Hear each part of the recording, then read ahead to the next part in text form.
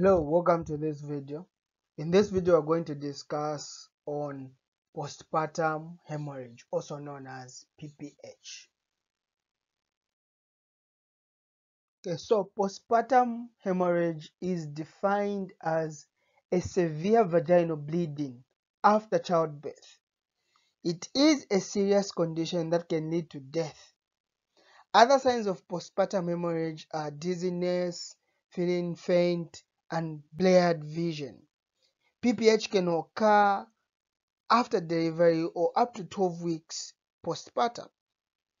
More than half of all maternal deaths occur within 24 hours of childbirth, mostly due to severe bleeding. PPH accounts for about 25% of maternal deaths worldwide.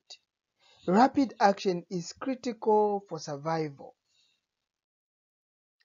The causes of PPH include uh, atonic uterus, retained placenta or fragments, tears of the uterus, the cervix, the vagina, and the perineum.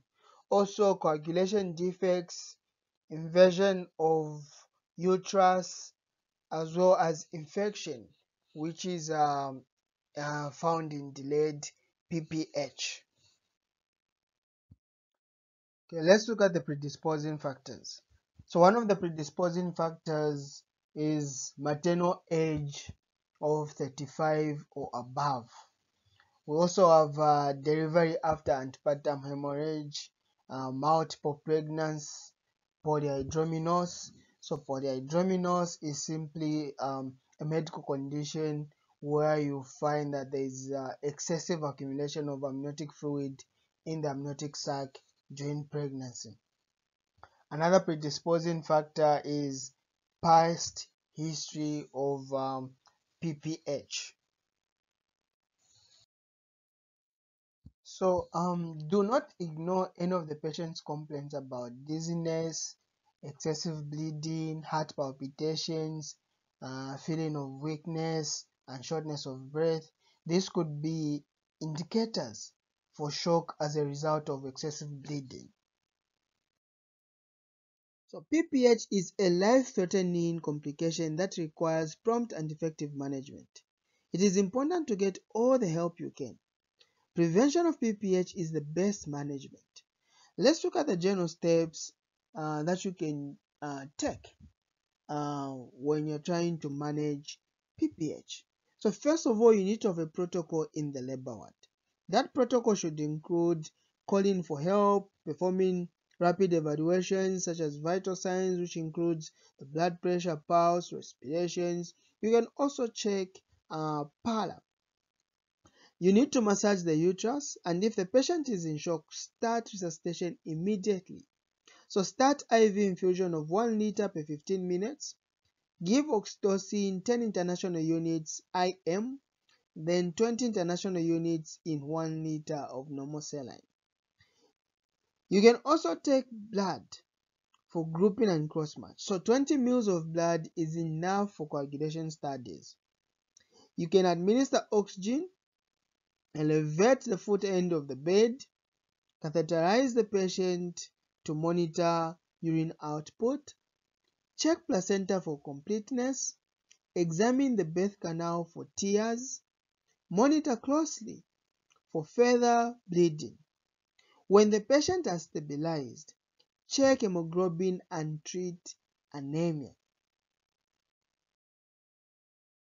So, the fluids that you give during shock are the crystalloid fluids, such as uh, normal saline or Ringer's lactate.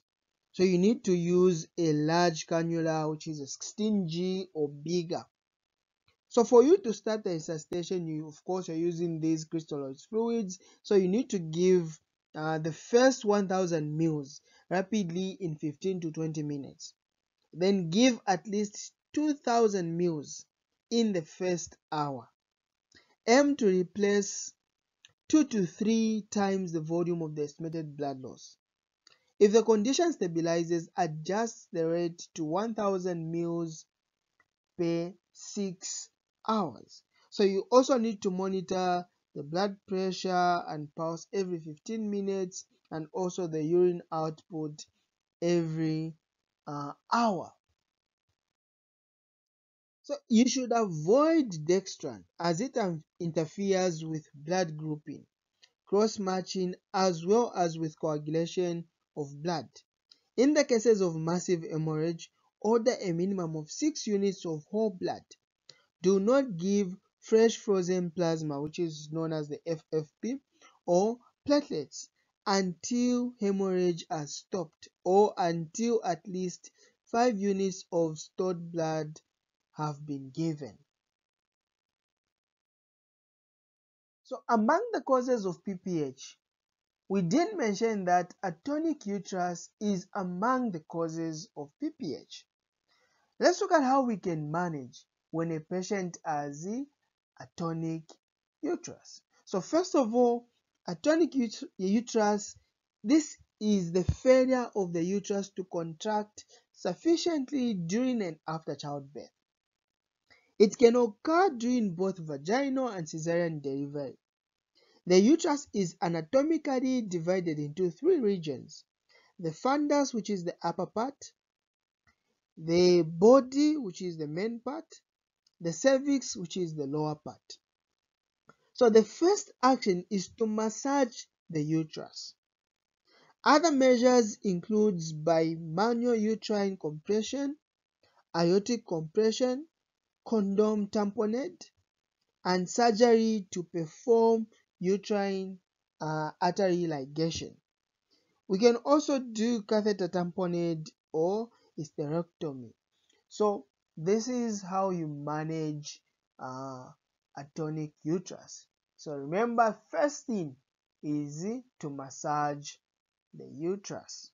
Then if it doesn't work then you are going to use other measures such as bimanual compression, condom tamponade, surgery, and aortic compression. Another cause of PPH that we can manage is retained placenta. A retained placenta is a condition that occurs when all or part of the placenta remains in the uterus after childbirth. Normally, the placenta is expelled from the uterus within 30 minutes after the baby is born during the third stage of labor. There are three main types of retained placenta. We have the placenta adherens. This is where the placenta remains attached to the uterine wall due to inadequate contractions or incomplete separation. We also have trapped placenta. This is where the placenta detaches from the uterine wall but becomes trapped behind a closed cervix. We also have uh, the third type known, which is also known as uh, the placenta accreta. So this is where the placenta is abnormally attached to the uterine wall and penetrates into the uterine muscle, making it difficult to detach. So when it comes to management, you need to ensure that the bladder is empty Apply controlled cord traction. If it fails, repeat oxytocin 10 international units IM. If no success after 30 minutes, attempt manual removal of the placenta. So you need to give pethidine and diazepam or ketamine. Give antibiotics ampicillin 2 gram and metronidazole 400 milligrams. You need to examine the placenta for completeness. Give oxytocin 20 international units per 1000 mils in normal saline or Ringer's lactate. Then you also need to monitor the blood pressure, the pulse, the sanitary pads, and also urine output closely. You can also add agate or prostaglandins if bleeding continues. You can also transfuse uh, whenever necessary and treat for anemia. Let's now look at secondary postpartum hemorrhage. So this is excessive bleeding from the genital tract that occurs between 24 hours and 6 weeks after childbirth. Unlike primary postpartum hemorrhage, which happens within the first 24 hours after delivery, secondary postpartum hemorrhage typically results from retained placental fragments, infections such as endometritis, or sub-involution of the placental sites. That is uh, when the uterus does not return to its normal size. And also malignancies such as cancer of the cervix and choriocarcinoma. Okay, so you need to do or perform vaginal swabs and the necessary scans.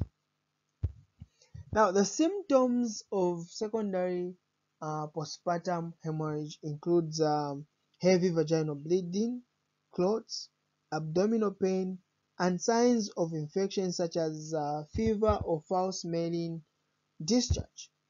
So management is usually um, usually involves identifying and treating the underlying causes, which may include medications to contract the uterus, antibiotics for infection, or surgical interventions to remove retained tissues. So this is what I had for you on uh, postpartum hemorrhage. If you have any questions, leave your questions in the comment section, like, share the video, and also subscribe. See you in the next session.